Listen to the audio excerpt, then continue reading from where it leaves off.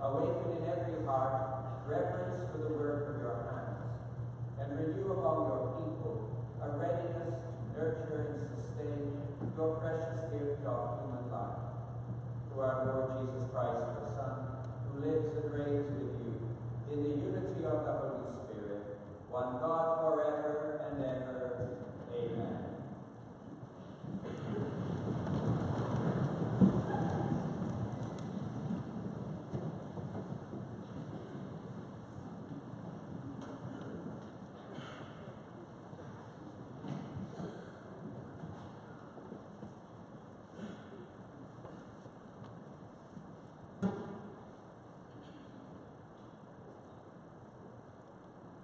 A reading from the second letter of St. Paul to Timothy.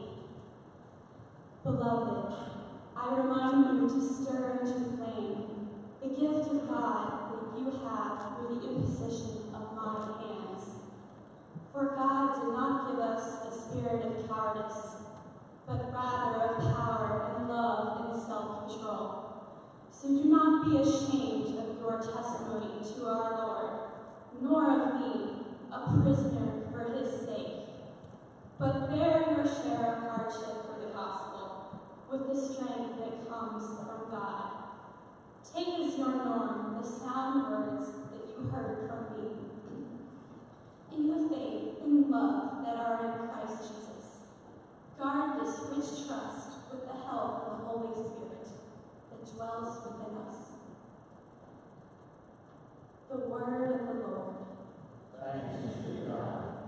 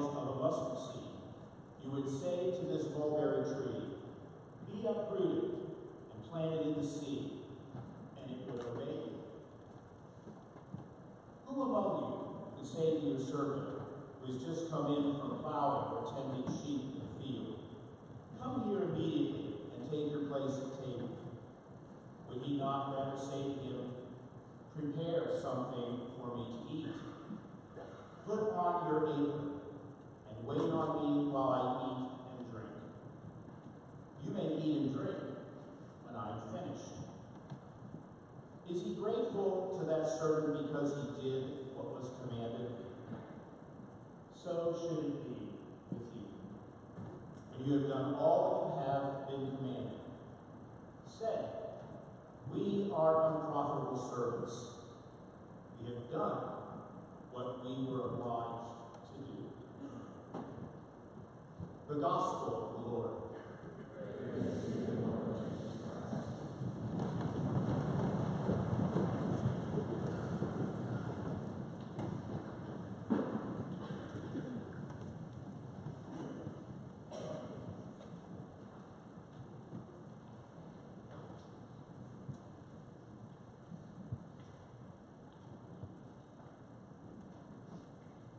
As we gather for Mass today, one of the people for whom the Mass intention offered will be Peyton, whose anniversary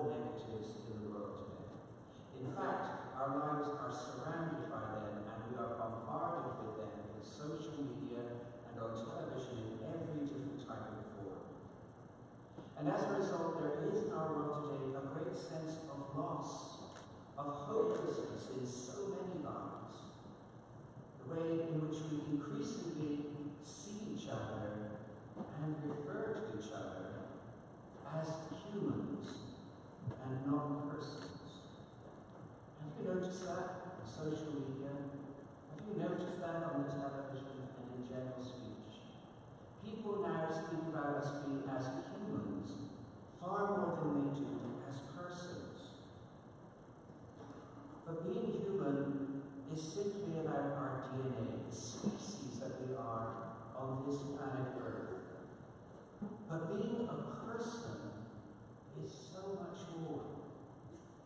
Recognizing one another as persons to be protected and to be loved from the moment of our conception when we are conceived in our mother's womb to the moment of natural death is to say that I have worth, that you have worth. And it's not down to what we can do. It is not because of what we are able to say or how loud we are able to shout. It is not because of the social status that we have in society, nor related to the age I am or the ability I have to care for myself. I have that worth simply because I am. When we look around us today, it's easy for us to rail at the evil and violence that expands under that human labor, the culture of death, that seems so prevalent in our country and around our world. In acts of terrorism, in mass shootings in schools or religious communities trying to worship, in the increasing homicide rate even here in Columbus, though it dropped in this year, went up dramatically last year. In fact, between 2007 and 2017, it works out to 12 people whose lives were taken unjustly for every 100,000 people in our community. Over a million children killed each year by abortion. Scandal locally unfolding at Mount Carmel Hospital, where people's lives were possibly deliberately taken from them. And when we look at all this, we can get frustrated. We can look out there and say, God has not intervened to stop the killing. And we know we've not been able to stop it ourselves through our legal system. But this frustration accomplishes nothing. And it distracts us from the two things that God is asking of us. The two things needed to overcome violence and evil. Faith in God and the loving witness of our lives.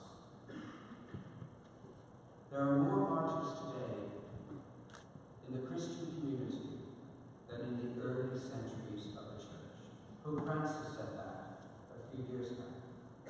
They go bravely to their deaths, witnessing to their faith, refusing to compromise or to give it up. But what about you and me? Do we hesitate because of peer pressure or the fear of alienating friends to witness to the right to life and the inherent dignity of every person? It's not pleasant to think about.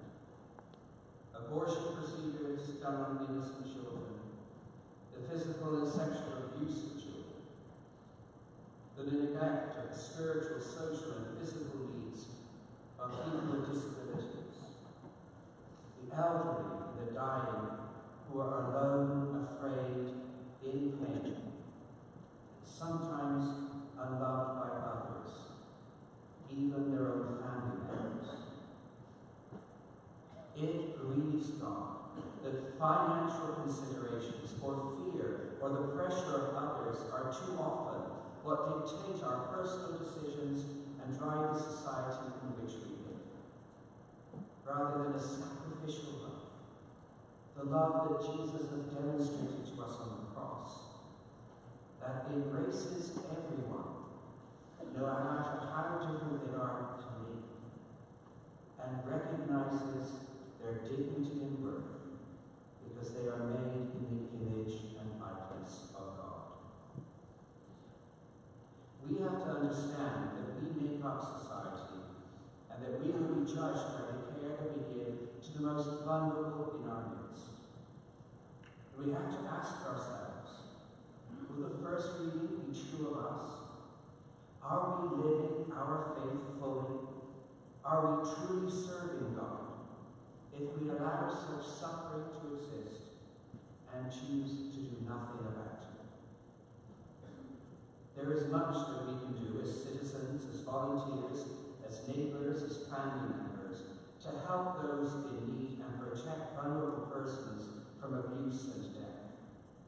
And it is not an option for us as Christians, as the Gospel also reminds us, for we are the servants in that bidding, and we are called to what must be done.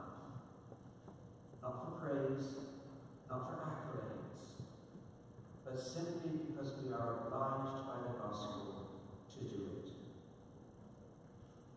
As I said at the beginning of this homily today, pray and commit to do something, to help even one vulnerable person, perhaps a family member, a neighbor, or a colleague, or someone that they are caring for. Help them to care for that person. It is the best way for us to remember Peyton and to live out the command that Jesus himself has given us. Do it to show everyone around you that we are not just human flesh, but much, much more. And that we are brothers and sisters who protect the vulnerable among us, stand with the weak, and serve Jesus Christ in our world. May the Eucharist we receive today give us strength for this task and boldness to proclaim life in the way that God has called us to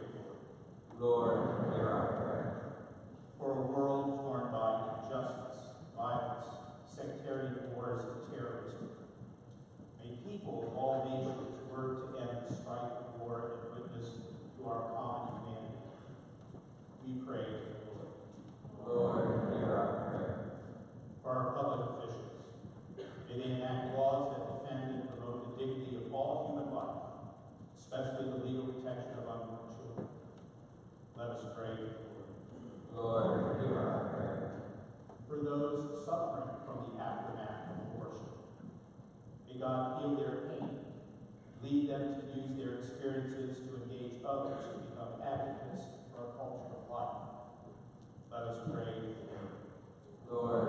Hear our prayer. for the elderly, those who suffer from terminal illness. May their caregivers and families provide them with the care and support they need that is in keeping with authentic respect for the dignity of the human person. Let us pray to the Lord. Lord, hear our prayer. For other life-threatening and life-diminishing issues of concern, the scourge of human trafficking, the dehumanizing effects of racism, and the use of the death penalty. May our society address these concerns by transforming into a culture of life. We pray to the Lord. Lord, hear our prayer. For those who have died, we especially remember our family, friends.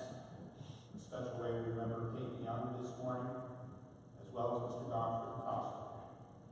Remember those who have given their lives to have advocated for the respect of human life. That their faithful witness may inspire others to build a civilization of love. We pray to the Lord. Lord, hear our prayer. For those special intentions, we now hold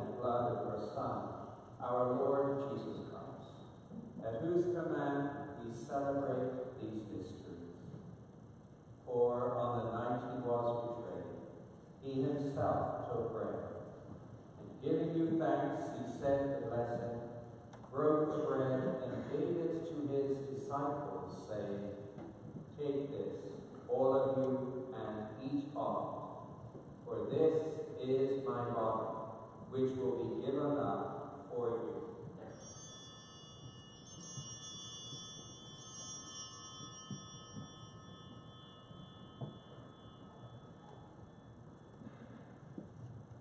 In a similar way, when supper was ended, he took the chalice. And giving you thanks, he said the blessing, and gave the chalice to his disciples, saying,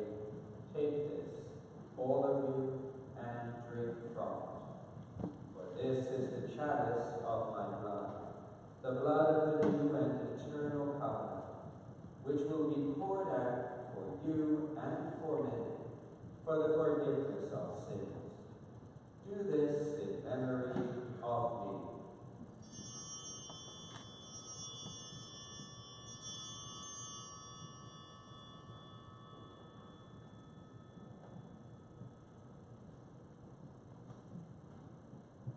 The mystery of faith.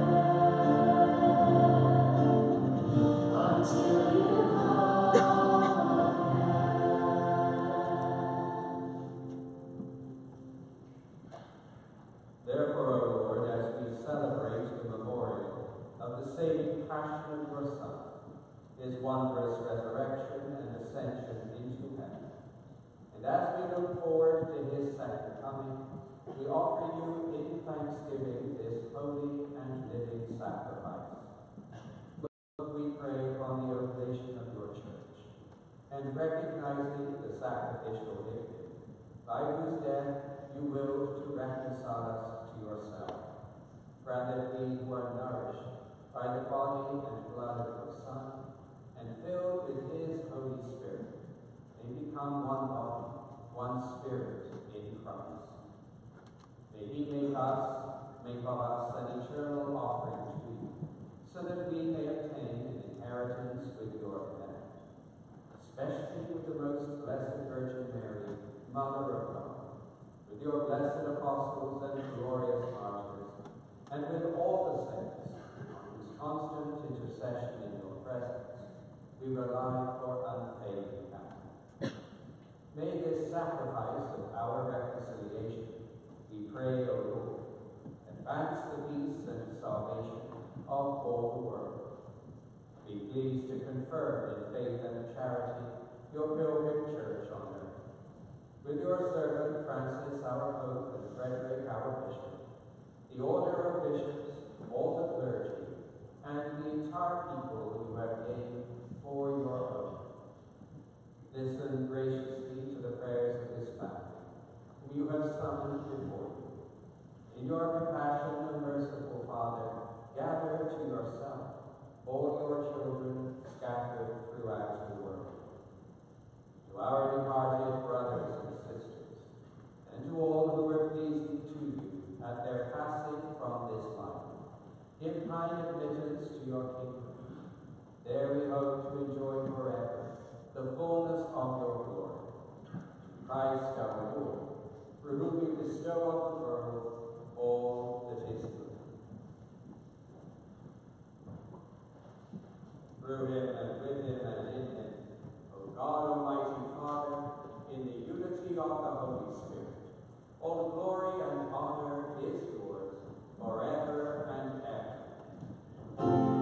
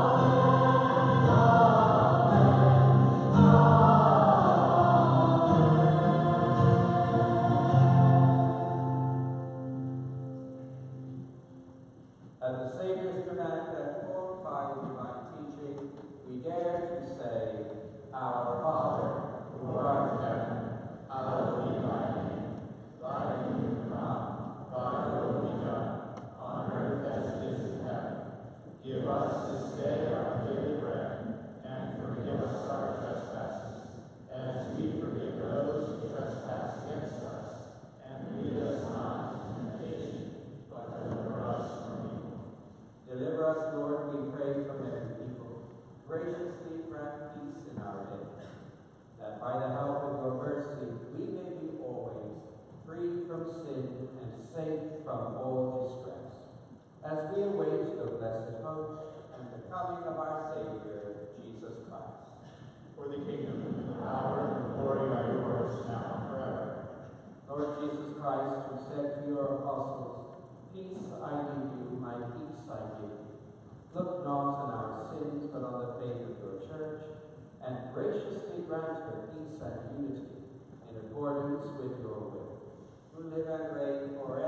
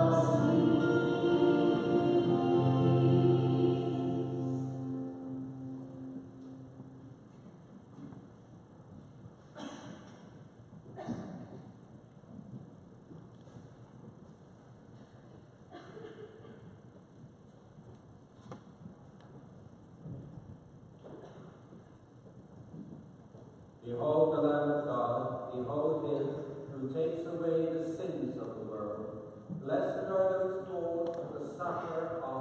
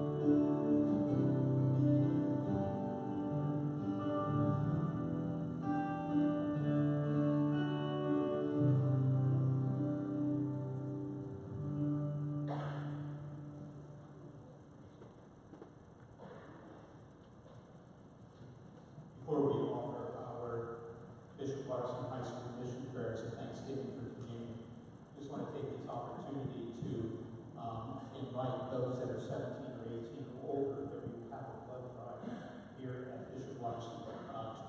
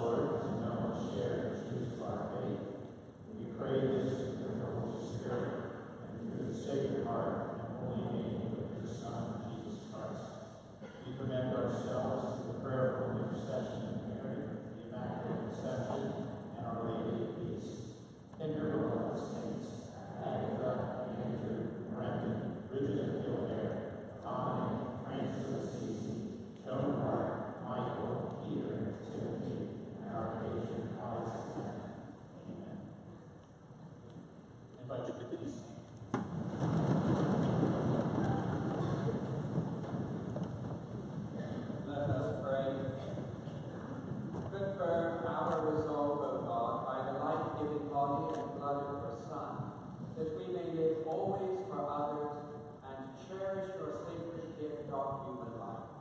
Through Christ our Lord. Amen. The Lord be with you.